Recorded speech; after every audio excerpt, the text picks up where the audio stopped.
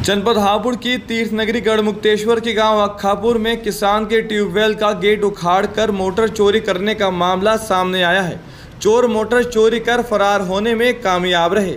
Police तहरीर के आधार पर मामले की जाँच में जुट गई है।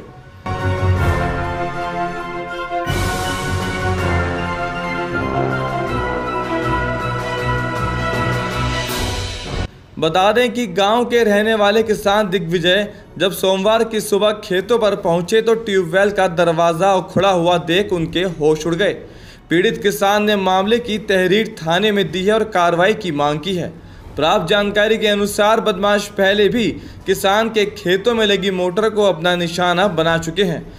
एक बार फिर से हुई मोटर चोरी से किसान बेहद परेशान है और इसने पुलिस से सख्त कार्रवाई की मांग की है।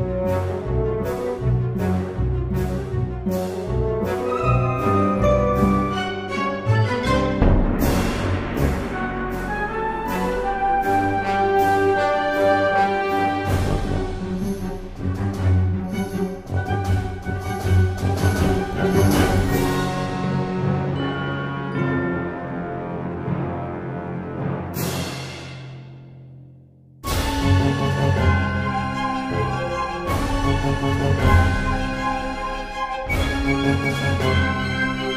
you.